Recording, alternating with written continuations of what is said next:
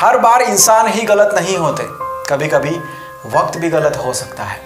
आज का video Irfan Khan sir की याद में। आज मैं आपको इरफान खान की रियल लाइफ स्टोरी और भी बहुत सारी ऐसे बातें बताऊँगा जो बहुत ही कम लोग जानते हैं। तो आइए फिर शुरू करते हैं आज की कहानी। जब इंसान अपने दायरे से बाहर जाके कुछ नया करने की कोशिश करता है, उस वक्त पे उसका सबसे बड़ा दुश्मन होता है वो खुद। सबसे पहले वो ही अपने आप को रोकने की कोशिश करता है। हज़ार सवाल करता है डाउट खड़े करता है। ये कहना था इरफान खान का। जब उन्होंने भी तय किया कि वो एक एक्टर बनेंगे, तब उनके दिमाग में भी बहुत सारे डाउट थे कि वो एक्टर बन पाएँगे कि नहीं बन पाएँगे। उन्हें एक्टिंग आती है कि नहीं आती है, लोग उन्हें पसंद करेंगे कि नहीं करेंगे। अगर शुरू से शुरू करें तो इरफान खान का जन्म 7 जनवरी 1967 को राजस्थान के टोंक में हुआ था। उनके पिता का नाम जागीरदार खान। जिनका टायर का बिज़नेस था, पढ़ाई में तो इरफान खान ठीक ठाक थे, लेकिन उन्हें बचपन से ही क्रिकेट बहुत पसंद था। प्रोफेशनल क्रिकेट भी खेले हुए हैं, लेकिन पैसों की कमी के कारण वो इस फ़ील्ड में आगे नहीं बढ़ पाए। कॉलेज से जस्ट पहले इरफान खान ने कुछ फिल्म्स देखी, जैसे कि दिलीप कुमार की नया दौर, नसीरुद्दीन शाह की भूमिका, और भी बहुत सारे फिल्म्स जिनको देखने के बाद उनको हुआ कि मुझे भी ऐसा कुछ करना है मेरी लाइफ में। ये कमाल की आर्ट है, मुझे भी ये आर्ट सीखनी है। लेकिन ये बात जब उन्होंने परिवार को बताई, तब घर वालों ने बहुत सवाल किए, वो लोग शौक हो गए थे। इरफान जी ने बड़ी मुश्किल से घर वालों को मनाया इस फ़ील्ड के लिए। उन्हें पता चल गया था कि स्ट्रगल शुरू हो चुका है, शुरुआत घर से ही हुई है। उसके बाद उन्होंने नेशनल स्कूल ऑफ़ ड्रामा यानी कि एन में अप्लाई किया। वहाँ पर भी एक गज़ब की स्टोरी है। उस टाइम पे उन्हें दो सौ की ज़रूरत पड़ी थी, उनके पास नहीं थे। तो इधर उधर बहुत लोगों से मांगे, एक दोस्त से भी मांगे, लेकिन उसने भी बहाना करके मना कर दिया। तब उनकी बहन ने अपनी जमा पूंजी में से वो मदद की थी। तब जाके उनका एडमिशन हुआ था एनएसडी में। तो ये एक यादगार किस्सा है। एनएसडी के अंदर उन्होंने एक्टिंग के अलग अलग पहलुओं को सीखा। वो अलग तरीके की एक्टिंग करना चाहते थे। अलग तरीके की इन द सेंस दिखाने के लिए अलग तरीके की नहीं। लेकिन उनको उनका जो थॉट प्रोसेस था एक्टिंग को लेकर वो काफ़ी अलग था। जो सिस्टम चली आ रही थी, उनसे कुछ अलग करना चाहते थे। उसमें भी एक रिस्क था कि लोग ऐस, इस टाइप की एक्टिंग को एक्सेप्ट करेंगे कि नहीं करेंगे, फिर भी उन्होंने यही रास्ता चुना। एन के बाद इरफान खान आ गए सपनों के शहर, मुंबई, अपने सपनों को पूरा करने के लिए। ऑर्डिनरी फेस ऑर्डिनरी बॉडी और बिना बैकअप के इरफान खान के लिए सही मायनों में स्ट्रगल अब शुरू हुआ था मुंबई आने के बाद। लोगों से मिलना शुरू किया ऑडिशन शुरू हुए, जैसे सबके होते हैं। फ़िल्मों में काम मिलना उस टाइम पे बहुत ही मुश्किल था, क्योंकि ये वो दौर था जब सिर्फ़ मसाला फिल्म्स ही बनती थी। और ऐसी फ़िल्मों में इरफान खान जैसे एक्टर को काम मिलना, उस टाइम की बात करें तो नेक्स्ट इम्पॉसिबल था। तो इरफान खान ने सीरियल से अपने करियर की शुरुआत की। उसमें भी जो भी किरदार उनको मिलता, वो कर लेते, चाहे वो छोटा हो या बड़ा। चंद्रकांता, श्रीकांत, सारा जहाँ हमारा, चाणक्य, और भी कई सारे शोज़ उन्होंने किए। लेकिन एक वक्त पे वो बहुत ही बोर होने लगे वो एक ही तरह के काम से, एक ही तरह के किरदारों से। उनका ऐसा था कि आप मुझे टफ से टफ किरदार दो, छोटा हो या बड़ा चलेगा। और एक प्रॉब्लम था इरफान खान का कि वो बहुत ही शर्मिले थे, ज़्यादा बात नहीं करते थे। वो डायरेक्टर्स के पीछे, आगे पीछे घूमना, उनको रोल के लिए मनाना, एक ही बंदे को बार बार काम के लिए बोलना, ये सब उनको नहीं आता था।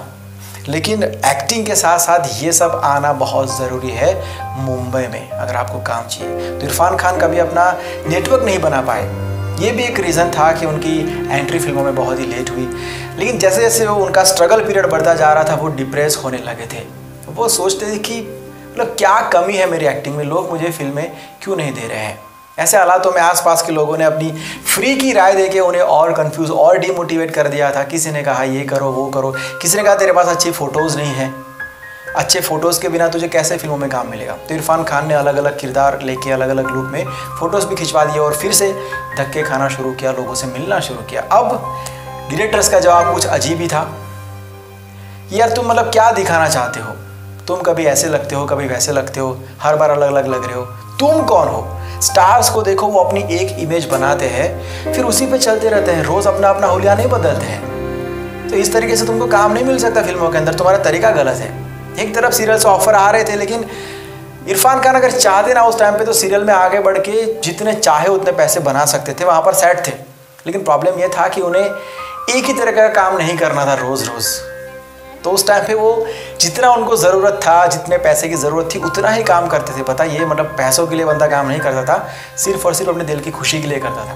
काफ़ी टाइम के बाद एक फ़िल्म मिली उनको, सलाम बॉम्बे। बड़ी खुशी के साथ उस फ़िल्म को किया, लेकिन जब रिलीज़ हुई, तब पता चला कि इरफान खान के बहुत सारे सीन्स काट दिए गए हैं। तब इरफान खान समझ चुके थे कि अभी भी स्ट्रगल पूरा नहीं हुआ है। ऐसा काम करूँगा ना अगली बार से कि एक शॉट नहीं काट पाएगा कोई। उसके बाद फ़िल्मों में छोटे बड़े किरदार करते रहे धीरे धीरे करके लोग उन्हें जानने लगे। लोग बात करने लगे कि फ़िल्मों में एक नया लड़का आया है जो आँखों से बात करता है। के के मैंने अपने इंटरव्यू में कहा है, बड़ी अच्छी बात कही है कि आपको मुंबई में एक से एक बॉडी बिल्डर मिल जाएगा। एक से एक खूबसूरत चेहरा मिल जाएगा, लेकिन इरफान खान एक ही है, जिसको कोई रिप्लेस नहीं कर सकता है, ना कोई कर पाएगा। इरफान खान की एक्टिंग की बातें हॉलीवुड तक पहुँचने लगी थी। वहाँ से काम आने लगा था ऑफर्स आने लगे थे। उन्होंने शॉर्ट फिल्म्स करना शुरू कर दिया। बहुत सारे काम करते थे। उनको मज़ा आना चाहिए बस। तो हॉलीवुड ने जब काम करना, देना शुरू किया, तब बॉलीवुड को पता चला कि अपने हाथ में हीरा है और आज तक हम समझ ही नहीं पाए। उस दौरान इरफान खान की हासिल रिलीज़ हुई थी और उसी टाइम पे साथ में ही उनकी हॉलीवुड फ़िल्म वॉरियर भी रिलीज़ हुई थी। दोनों फ़िल्मों में एक साथ एक ही वक्त पे उन्होंने पूरी दुनिया को दिखाया कि वो किस लेवल के एक्टर है। उसके बाद बहुत सारी फ़िल्में की, लेकिन जब पान सिंह तोमर आई, तब उन्हें सही मायनों में सुपरस्टार का दर्जा मिला, जो बहुत ही पहले डिजर्व करते थे। उन्हें इस फ़िल्म के लिए नेशनल अवार्ड भी दिया गया। इरफान खान की हिट फिल्म्स की लिस्ट बहुत ही बड़ी है, मुझे बताने की ज़रूरत नहीं है। सब कुछ सही चल रहा था, लेकिन उनकी लाइफ में बुरा वक्त तब आया, जब उन्हें कैंसर की बीमारी हुई। उन्हें न्यूरो ट्यूमर था, बहुत ट्रीटमेंट चली।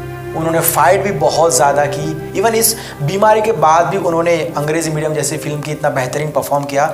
29 अप्रैल 2020 जिस दिन को कहा जाता था कि दुनिया ख़त्म होने वाली है, उस दिन दुनिया तो ख़त्म नहीं हुई, लेकिन एक सितारा दुनिया से ज़रूर चला गया हमेशा के लिए। 53 इयर्स की एज में उनकी डेथ हुई। हिंदी सिनेमा को वर्ल्ड लेवल पे पहचान दिलाने वाला स्टार चला गया। कोई भी उनकी जगह नहीं ले सकता है। सिनेमा को इरफान खान के बिना अधूरा ही रहना पड़ेगा। वर्ड्स नहीं है, मैं क्या बोलूँ उनके लिए? लेकिन ऑलवेज हम लोग ढूंढते रहेंगे इरफान खान को अब फ़िल्मों के अंदर। उन्होंने कभी भी बड़े बड़े परफॉर्मेंस के लिए बड़ी फ़िल्म का वेट नहीं किया है। उनकी जितनी फ़िल्में आप देखोगे लंच बॉक्स हो, चाहे वो पान सिंह तोमर हो, पान सिंह तोमर आपको पता है रिलीज़ करने को तैयार नहीं था। कोई रिलीज़ अटकी हुई थी उस फ़िल्म की। उसको रोका भी गया था उस फ़िल्म को, जब रिलीज़ हुई थी। लोगों को पता भी नहीं था प्रमोशन भी नहीं हुआ था, ऐसे लंच बॉक्स की बात करो, जितनी फ़िल्में उन्होंने की है, कौन सी बड़ी फ़िल्में की है, लेकिन वो कहते हैं ना कि अगर हीरा जो होता है ना, वो अपनी चमक दिखा देता है, चाहे वो कितनी भी भीड़ में हो। तो बहुत ही इंस्पायरिंग इनकी स्टोरी है, बहुत ही इंस्पायरिंग पर्सनालिटी थे। बहुत ही बुरा लगता है इरफान खान के बारे में, ऐसे पास टेंस में बात करते हुए थे, ऐसा था। बट जो भी है यही है। सो प्लीज़ उनके लिए प्रे ज़रूर करना। मैं मिलता हूँ कल एक नई कहानी के साथ, एक नई वीडियो के साथ। Bye take care and see you soon